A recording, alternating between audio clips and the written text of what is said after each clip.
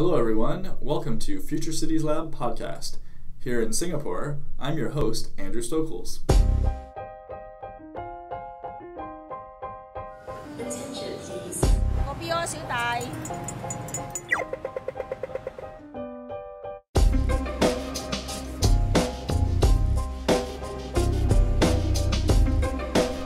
Hello, everyone. Welcome to Future Cities Lab podcast.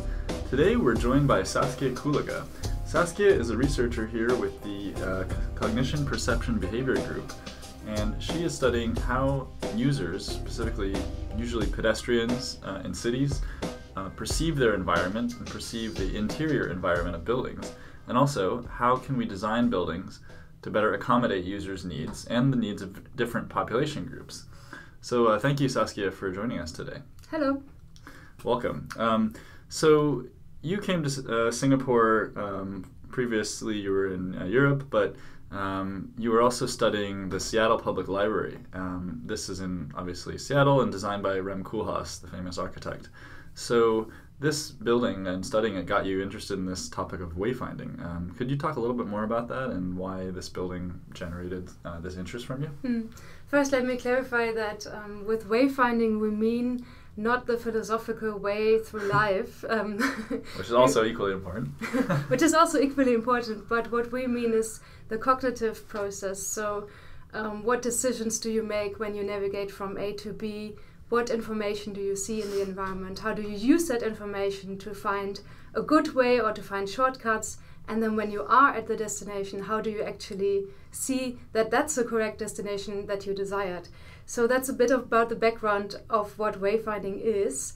And then in the literature, we found that an architectural critique, Kim Dovey, had said that the Seattle Public Library is one of the most disorienting buildings uh, one can imagine, according to him. And thus, we were very interested in what makes this building tricky for people. And we analyzed social media comments, and they actually confirmed that. So, there was one person who actually said that she got an anxiety attack, so she didn't know how to get out of the building. And that's why we conducted a wayfinding study.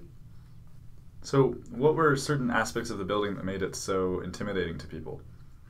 I think in general, this building, um, and it has been designed in 2004, so quite some time ago, has misaligned floor plates, um, so the layout is not the same in between different floors. Um, it has unidirectional elevators that skip a floor. Um, in all of the things it does, it's visually highly interesting and has, like, for example, one totally red store uh, floor and um, these aspects make that you on the one hand like have this visual aesthetics that almost overwhelm you while on- the other hand you do not have an efficient point-to-point wayfinding So, in a sense, they designed this building to be novel and unique, but they also missed out on responding to what people might actually want or might actually be better for people in a building. it is breaking the mental scheme or the mental image that we may have about how a library should look like Mm. It is very innovative in terms of its design, and um, for people who are looking for this efficient wayfinding, um, they may get some challenges. For example, in one task, we asked them to find non-fiction DVDs, and they went to a floor with fiction DVDs, but that was an entirely different, uh, like an entirely wrong floor as well as a subsection. So we have a spatial error and a semantic error. And for us, that's highly interesting because how can architects, um, before they build a building, anticipate what users will do in this building, what challenges they will have, and what strategies, and so on? And it sounds like, from what you were telling me earlier, that everyone actually, when they enter a certain type of building, they come with their expectations based on previous buildings they've been to that are similar. Yeah, I would say that. So, um, in that way, the Seattle Public Library um, has a different semantic organization and spatial organization, and you may not find the destinations where you expect them. And because of that, you may initially have a strategy that doesn't work to find a location, wander around endlessly, and if you're not allowed to ask anybody, like researchers then do, um, you may actually have serious detours. And coming back to the quote that some people have anxiety attacks, I think that's um, almost what we call a, a, yeah, a building usability problem. Mm. So something is not entirely uh, smooth with the way people interact with this building. Mm. For some people. So for right. others um, who go there leisurely, who want to get lost in right. a library, of course, that's a different story. Right. So, how did you end up in Singapore, Saskia? And uh, when we think about complex cities, especially those in Asia, which have a lot higher density than those in, say, North America or Europe, um, how do those issues then compound to the scale of the city and uh, beyond, actually? Okay. Yeah, actually, the scalability is one point because in the Seattle Public Library, you talk about one multi level building, obviously. Yeah. And there we figured out that what we term one size does not fit all. So you have to plan for diverse needs of users. And one thing I was particularly interested in are elderly people. And Singapore is unique in this case because they have this active aging approach. So okay. we look at a generation of seniors who are highly active, they want to venture out, they want to experience public spaces. And our question from the cognition perception behavior group then is how do we actually um, help architects and planners um, or support them help is not the right word to um, adapt cities for pedestrian comfort and for the different needs of these different user groups okay so in singapore there's this building kampung admiralty which was designed uh, to allow this aging in place allow people to access services all in their immediate vicinity so in your view, has this been successful? What are some of the things that need to be considered when you do this approach? Yeah, in general, I think it has been highly successful because it has won several prizes. Um, it's a multifunctional compound, so you have um, a supermarket and doctors and different generations. The elderly can do a lot of volunteering for younger people, and in general, as such, I would think it's a very good approach. On the other hand, it's in woodlands, so it's in the north. While it has a direct connection to the city via MRT, um, mm, I think that it would be worth to look into um, options about designing the public places in the city center to be more adapted to these needs of elderly users. And that's what we're interested in. And so it's not just having everything close by, but it's actually the way in which places are laid out in uh, connective networks and uh, pedestrian network networks. Is that right? That's true because the experience that you may have in one space is dependent on a lot of factors, on things that are on the side of the individual, of you, and of the building side. And on top of that, in Singapore, we have a high density, so we have the social environment as well.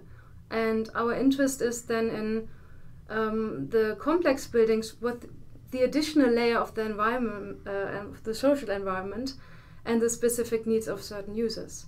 So when you take the MRT in the morning or the bus and you arrive at a place, um, how do you find your way in in different density conditions? So when there are many people around or not so many people around. So Saskia, you mentioned this building, uh, Admiralty, that in your opinion has been successful, uh, but this is one building as well. So it allows people to access services conveniently in their neighborhood, which is important for people who have less mobility. Um, but there's also the idea, the goal that cities should allow the elderly and actually all populations to be able to access more of the city and actually get out and see different areas and have that accessibility across the city. So, how do you ensure that um, going from the building to actually the scale of the city? That's a very good question. Um, I guess um, some of your points are if you design residential areas that are already doing so well, what need would there be to go to the city and experience those environments as well?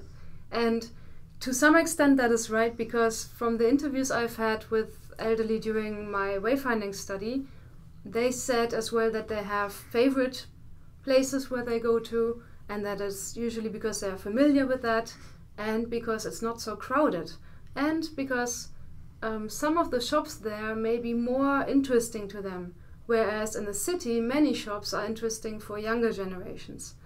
Um, so I think that the approach should, and partially that's in guidelines that we would have to find, should be to have um, something beyond universal design planning, so that we're on the one hand looking at individuals and on the other hand at groups and also to scale it up indeed to the city and to not only look at one park or one residential area, one neighborhood, uh, one transportation area and MRT station, but the whole connection of several buildings and areas in the city. And so the idea is not to isolate the elderly into specific places, but actually to integrate them into more parts of the city. Yeah, I mean, this is of course a top down um, language that we're currently using. Mm. Ideally, it would be the other way around, so that Mm. they would be motivated by themselves to Mm. venture out because the city is so interesting. Mm. And some things that are currently standing a bit in the way is that elderly in Singapore avoid crowded places. So, is there a way to make um, crowded environments more comfortable to them? Um, another thing is that sometimes, um, for example, large scale multi level shopping malls are designed to keep you inside, Mm. whereas then elderly have trouble finding back the car park or um, the MRT station. Um, this is due to the different needs that elderly have because there is sensorial decline, there is um, cognitive decline. Um, elderly can, for example, deal less well than younger people with visual clutter in the environment. And that's one of the upcoming studies we have to see to what extent does density, social density, on top of everything else, a complex environment and so on, individual factors and so on, influence how much comfort we perceive.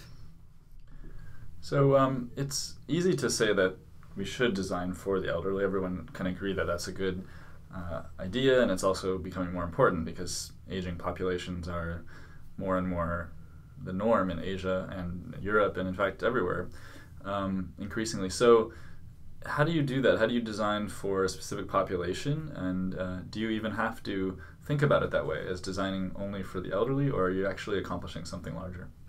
Of course, I think you would always try to reach everybody. You would try to reach mothers who have strollers, wheelchair users, elderly, uh, the youth, differently aged workers, and so on. So, in that sense, you want to have something that fits for all, and at the same time, what I'm saying is also contradictory because you don't want to have something that is generic.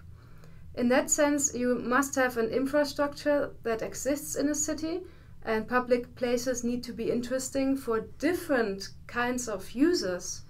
And this interest is, on the one hand, experiential, and on the other hand, behavioral interaction. So, efficient wayfinding there would be the core of everything because if you can't find your way out of such a complex building in case of an emergency, for example, extreme situation, then you're lost for good.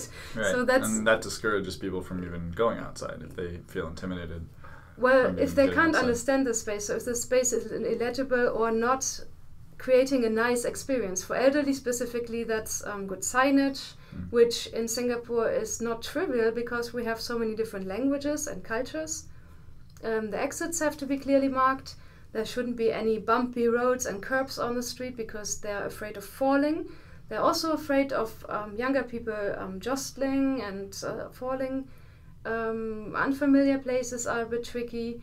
Then, um, what Singapore does quite well is the, that there are many seating areas and refreshment places and restrooms.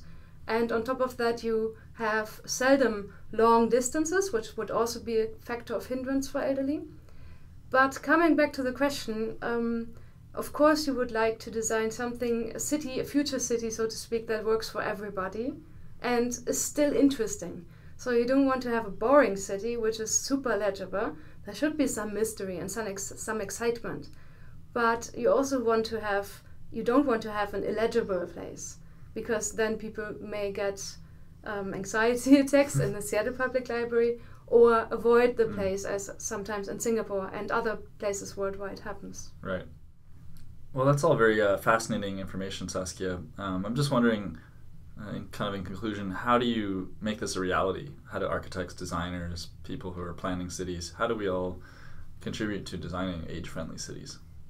For me, as a researcher, the most crucial point would be research translation. So, oftentimes, the publications that we write are having statistics and a certain way of wording and so on. And how do we actually have designers and architects and planners, urban planners, um, who can read that, understand that. So for me, there it is a political thing. We need an active conversation between practitioners and researchers, and that's I think one thing that Future Cities Laboratory is doing already and will be doing. And for building evaluations, we need an iterative process. So we not only can do post occupancy evaluations where we go to existing places and see, okay, what goes well, what doesn't go so well, but we also need pre occupancy evaluations where within the design process you constantly evaluate the places from the user perspective. One aspect in there is, of course, participatory design or co design. Um, and the other one is what tools and methods do we need to bring the user's perspective into planning and also into guidelines for future generations. Um, I think one thing that our group, for example, does is uh, working closely together with URA and local architectural offices. Mm. And that is one way of bringing psychology, spatial cognition, cognitive research, and so on directly into planning practice so that hopefully together we can all work on making the city, the building, depending on the scale, an efficient, effective, and pleasant place, and then hopefully for everybody. And this is um, worldwide something that um, researchers like us would like to do. And in Singapore, it has the additional topic also about the land scarcity and density. Mm. Right. So, to sum up, I think um, we need iterative evaluations that bring the user perspective into the design planning practice, and we need a lot of interdisciplinary collaborations and conversations that could influence guidelines and future buildings. Great. Well, thank you so much for that, Saskia. It's really fascinating, and we hope that your work is, in fact, translated and uh, impacts the way we all live and work in cities. Thank you very much. Thank you.